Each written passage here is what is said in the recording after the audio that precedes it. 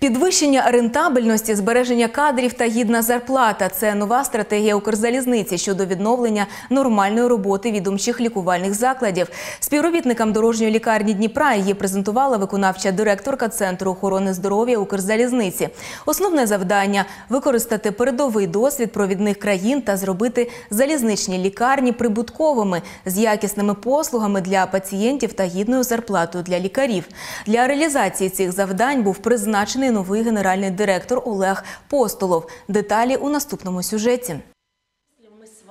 Структурні зміни у відомчих медичних закладах, новий формат обслуговування, страхування залізничників і членів їхніх родин. Про це з працівниками дорожньої лікарні Дніпра говорила виконавча директорка Центру охорони здоров'я Укрзалізниці. Вона наголосила, зараз керівництво залізниці активно шукає інвестора, який зможе нормалізувати роботу закладу. Больнице не хватает инвестиций. Сейчас э, будет поиск стратегического инвестора э, для того, чтобы были подписаны инвестиционные обязательства с инвестором о невозможности перепрофилирования лечебного учреждения, э, о э, систематическом поднятии заработной платы. Инвестор будет обязан оснащать самой современной техникой, оборудованием медицинского учреждения, обновлять автопарк, обновлять лаборатории. На зустрічі з колективом дорожньої лікарні обговорили перспективи подальшої роботи, зокрема, як працювати у нових умовах та яким напрямкам потрібно приділити першочергову увагу. Представниця центру охорони здоров'я Укрзалізниці та новий генеральний директор дорожньої лікарні наголосили, скорочень не буде. Персонал досвідчений, професійний, постійно підвищує кваліфікацію. Кадровый потенциал сохранится на все 100%.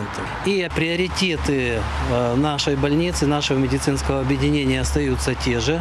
Это охрана здоровья э, железнодорожников и членов их семей. Очільник медзакладу каже, дорожня лікарня, як і інші лікувальні установи, працювала в режимі карантинних обмежень. Надавали тільки невідкладну допомогу. Від 25 травня заклад відновив роботу у звичайному режимі, але всі операції проводитимуть лише за наявності у пацієнта довідки про негативний тест на COVID-19. Альона Вєтрова, Євген Кодонцов, Open News, телеканал відкритий.